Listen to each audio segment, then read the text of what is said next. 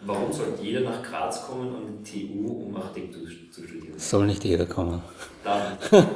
Nein, nein, überhaupt nicht. Ich glaube, es ist ganz wichtig, dass, dass Schulen sich durchaus unterschiedlich äh, positionieren und auch profilieren, was auch für die einzelnen Institute an einer, an einer Architekturfakultät gilt. Und in Bezug auf, in Bezug auf Österreich haben, haben wir sicher insofern einen gewissen Vorteil gegenüber zum Beispiel Wien, einfach durch die Größe. Also bei uns beginnen, wie schon gesagt, im Moment ungefähr 140 pro Studienjahr. In Wien sind es zumindest am Papier fast 1000, wirklich beginnen dann vermutlich 650 oder so.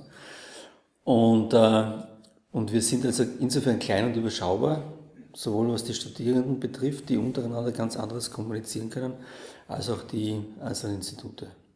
Dann auch ganz generell, ähm, wie wichtig ist es, dass es eine Studienvertretung gibt, die sich politisch engagiert? Politisch engagieren gar nicht. Nein, ich finde schon, dass, dass wir durchaus dass sozusagen die Stimme von den Studierenden sind in den ganzen Kommissionen und so. Und das ist irrsinnig wichtig, dass es sozusagen diese Stimme auch gibt in, in einer Diskussion, die halt ähm, sehr von Professoren eigentlich geprägt ist. Und dass man da manchmal was dagegen hält, ist sicherlich notwendig.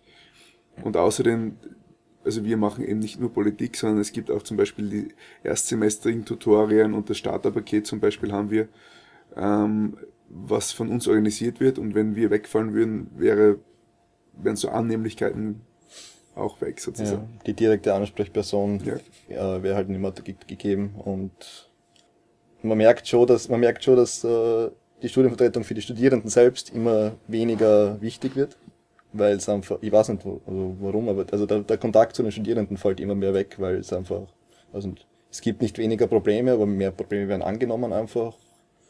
Äh, wir, wir sind nicht die erste Kontaktstelle, Facebook-Gruppen verbreiten Halbwahrheiten, also da gibt es verschiedene Gründe. Äh, aber wir, nicht, wir versuchen das immer wieder zu stärken, aber das ist halt, wer nicht will, will nicht. Ähm, wie funktioniert der Austausch mit anderen Universitäten? Gibt es da irgendwie Kommunikation? Oder? Mhm. Es gibt schon Kommunikation, die, die allerdings Großteil durch persönliche Bekanntschaften motiviert wird. Es gibt da immer wieder den Versuch, gemeinsame Projekte zu entwickeln. Wobei es allerdings so ist, dass, äh, dass die Haltungen, wenn man das so nennen kann, an, an den einzelnen Schulen doch sehr unterschiedlich sind was durchaus positiv gesehen wird. Und, äh, und man, äh, es ist die Frage, was, was bedeutet Austausch oder was, soll das, was kann das überhaupt bedeuten? Äh, also wir kooperieren inzwischen eher mit anderen, mit anderen Universitäten im, im, im Sinn von Wärmetechnik zum Beispiel ja? oder, oder, oder Prozesstechnik, also speziell auf der, auf der Forschungsebene ist es eher spannender, mit anderen zu also mit anderen mal sich auszutauschen, weil man da natürlich sehr viel lernen kann, als jetzt unbedingt mit einer anderen Architekturfakultät. Woran liegt das? Es gibt, also in meinen Augen gibt es nicht wirklich eine Notwendigkeit. Also der, der Austausch zum Beispiel mit TU Wien passiert jetzt äh, im Wesentlichen im Bereich von Summer Schools. Und da ist es dann spannend. Ja. Im Semester selber äh, ist es schwierig.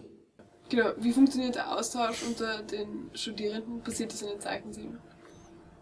Der meiste Austausch, der engste Austausch ist sicherlich der in den Zeichensälen, weil da ist man sozusagen eine kleine Gruppe, die ein bisschen funktioniert wie eine Großfamilie. Das heißt, man kennt sich sehr gut, man kennt sich meistens über Jahre hinweg. Und das Schöne in den Zeichensälen ist eigentlich, dass da Studierende von sehr vielen unterschiedlichen Semestern zusammenkommen. Das heißt, es gibt jemanden, der vielleicht schon am Diplom sitzt und der kann dann vielleicht jemandem helfen, der erst im ersten Semester ist. Ähm, und da funktioniert sicherlich der Austausch am besten. Wobei man sagen muss, dass eben nur nicht, nicht einmal 20% der Architekturstudierenden im Zeichensaal sind. Also dementsprechend der Austausch von diesen 20% funktioniert gut, der Rest äh, sporadisch, sagen wir so. Und das sind quasi nur die 20%, die sich dafür interessieren es gibt mehr Leute, die sich dafür interessieren, immer. Also äh, es wird ja gerade an der TU dran gearbeitet, dass wir eben Arbeitsplätze für alle kriegen und dass das äh, anders funktioniert. Aber die Architekturzeichensäle haben halt eine ziemlich große Tradition bei uns und es ist schwer, da irgendwie mit neuen Ideen irgendwie was zu brechen. Die, das grundsätzliche alte Schema von 1968 mit Bewerbungen und Fixplätzen ist halt nicht mehr da. wobei es nicht mehr ganz so elitär ist wie früher. Ja. Also früher hat man sich bei den Zeichensälen wirklich mit Portfolio bewerben müssen und du wurdest sozusagen nach deiner, nach der Qualität oder wie du architektonisch zu einem Zeichensaalplatz, äh, zu einem Zeichensaal passt, ausgewählt und jetzt sind es halt mehr so, Kennenlernabend. ja. Kennenlernabende und man wird nach Sympathie ausgewählt und beides finden wir halt eigentlich nicht zufriedenstellend, weil sozusagen eigentlich jeder, der inskribiert ist, eigentlich das Recht hat, so einen Platz zu haben. Was würdet ihr an eurem Studium ändern wollen oder was versucht ihr zu ändern? Der Unterschied zwischen der Fachhochschule und der Universität wird eigentlich immer kleiner und ich persönlich bin mir nicht sicher, ob man nicht wirklich auf der Uni etwas univers universeller an die ganze Sache rangeht und nicht ganz so schulisch. Also das würde ich wahrscheinlich verändern wollen. Das große Ding, was uns in 2009 geblieben ist, ist, glaube ich, Bildung statt Ausbildung.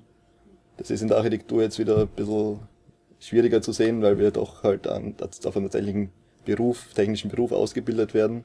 Aber man darf dabei, glaube ich, die Bildung nicht übersehen. Also, das, also man darf das nicht zu sehr verschulen.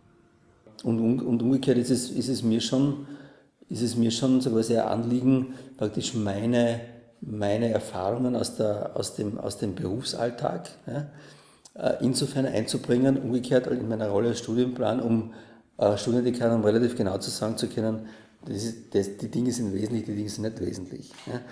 Das hat, hat ganz schwer auch mit der, sag ich mal, mit sowas wie mit diesen Diskussionen zu tun, weil sehr viele junge Menschen ja, glauben, man sollte ja nur mehr das lernen, was man unbedingt braucht in der sogenannten Praxis. Ja.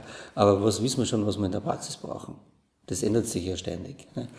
Und, äh, und deswegen bin ich in Bezug aufs Architekturstudium auch der Meinung, man müsste, man muss so weit wie möglich viele Aspekte des Studiums, also des, des Berufs kennenlernen, hm, um um dann mehr oder weniger auch Entscheidungen treffen zu können, wie man, seine, wie man seinen Berufsalltag gestalten will. Aber die Skills, die man dann braucht, um den Beruf auszuüben, ja, das sind, also jetzt in, in Bezug auf Kommunikation mit Bauherren, Verträge, all diese Dinge, ja, das kann die Universität nicht leisten. Das ist nicht ihre Aufgabe. Ja. Schon zur Abschlussfrage. Ähm, welche Ratschläge oder welchen Tipp möchtest du jedem Architekturstudierenden mit auf den Weg geben? Also das Wichtigste ist, glaube ich, die eigenen Möglichkeiten einschätzen zu können. Und dass man so quasi seine Qualitäten kennt, aber auch seine Schwächen. Weil das Schlimmste, was einem in dem Beruf passieren kann, dass man seine eigenen Möglichkeiten falsch einschätzt. Also das ist allgemeinste, der allgemeinste Ratschlag, den ich geben kann. Weil die Welt ist voll von Architektinnen und Architekten, die, die sich falsch einschätzen. Probieren geht über Studieren auf jeden Ja. Fall. Und das zweite vielleicht äh, unzufrieden bleiben mit sich selber, hungrig bleiben und sozusagen die eigene Unzufriedenheit nutzen und, und, und sehr viel Kreativität und Potenzial daraus zu schöpfen. Das ist sicherlich ein, ein Tipp, den ich geben kann.